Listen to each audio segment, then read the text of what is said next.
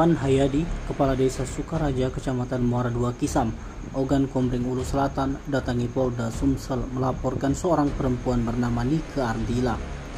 Namun di sini bukan sosok Nika Ardila penyanyi rock Indonesia yang terkenal di tahun 90-an.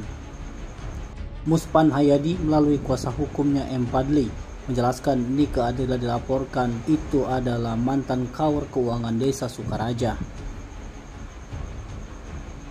Dia melaporkan dugaan fitnah dan pencemaran nama baik di mana kliennya itu yang disebut mencairkan dana BLT tanpa sepengetahuan terlapor.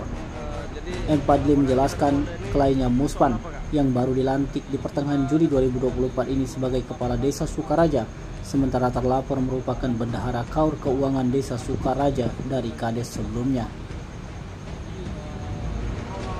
Disebut dana BLT untuk warga desa Sukaraja itu berlangsung pada pertengahan Oktober 2024 dan untuk 60 kepala keluarga di desa. Atas dasar itulah Muspan Hayadi melaporkan NA ke Polda Sumsel di mana kasusnya ditangani Unit 4 Subdit Kamnak Ditreskrimum Polda Sumsel. Lebih lanjut, Muspan Hayadi juga menyampaikan semenjak dilantik terlapor NA tidak pernah hadir di kantor desa Sukaraja. Meski tak pernah menjalankan tugasnya sebagai kaur keuangan bendahara desa, terlapor NA masih tetap menerima gaji hingga Oktober 2024. Akibat pemberitaan itu, Muspan Hayadi merasa dirinya cukup terganggu dalam menjalankan pemerintahan di desa Sukaraja. Dengan pemberitaan-pemberitaan yang belum jelas seperti itu, apalagi pemberitaan uh, yang disampaikan oleh pemberitaan dari Nusantara Kudus ya, hmm. terkait masalah BLT itu saya sebagai kepala desa juga merasa terganggu apalagi pemberitaan itu menyerang sekali ya keluarga saya anak-anak saya istri saya terus orang tua saya malu semua atas pemberitaan apalagi ini bukan desa saya tapi Papua Selatan yang malu dengan pemberitaan ini hmm. kami merasa sangat dirugikan sekali dari pemberitaan bahwa faktanya tidak benar ya Pak? Faktanya itu tidak benar ya. Oke. Apalagi eh, saudara NA ini untuk hari ini rekomendasi untuk dia dari bupati itu sudah ditandatangani sudah resmi. Sudah resmi ditandatangani ya. Oke. Ditandatangani dan bukan lagi sebagai perangkat. Oke. Tapi sepanjang dia eh, apa namanya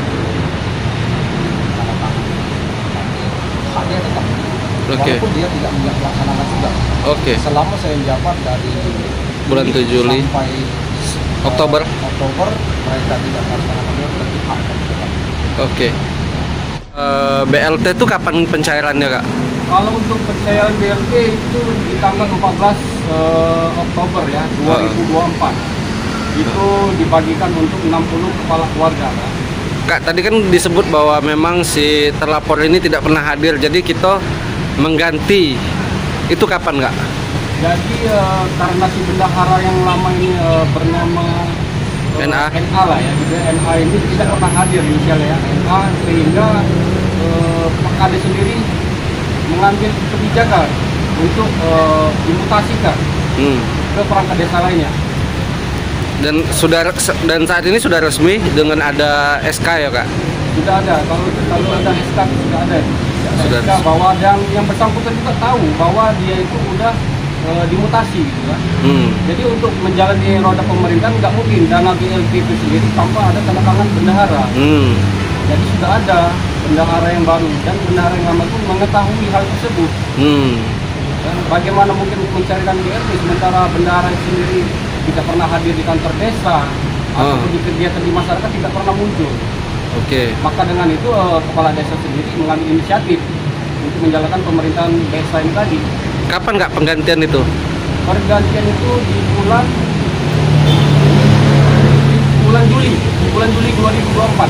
Artinya tak lama dari Pak Kades ini dilantik karena ibu itu Iya. nih kita ambil bendahara baru lagi ya. Betul. Jadi eh, semenjak Pak Kades sendiri dilantik di bulan 7 eh, bulan Juli 2024 bendahara ini tidak pernah hadir tidak pernah hadir tidak pernah kerja sampai pun dengan hari ini tidak pernah hadir Tapi masih sa- sam- sampai dengan apa namanya eh, SK itu keluar berarti masih menerima gaji. Masih. Masih kalau untuk menerima gaji masih bendahara yang lama masih menerima gaji. Oh, jadi sekarang sudah dinonaktifkan ada. Nah, Kak, eh, jadi hari ini juga selain kita buat laporan juga langsung ada pemeriksaan saksi ya? Eh, betul sekali. Jadi hari ini kita sudah ada beberapa kita membawa saksi kan. Hmm. Nah, sudah sudah diperiksa tadi alhamdulillah diterima oleh Polda Sumsel kan. Nanti untuk eh, selanjutnya eh, biar pihak polisi Polda lah untuk mengembangkan perkara tersebut kan. Saksinya apa, Kak? Saksinya siapa saja? Kalau saksi sendiri eh, ada Pak Kades sendiri. Terus? terus lagi saksi yang lainnya Jumlahnya? Saksi bapak itu ada nama Arwansa ya. Eh, jumlahnya berapa, Kak? Saksi yang saksi untuk hari ini dua dulu. Oh, dua dulu. Eh, itu kita memberi keterangan terkait apa, Pak?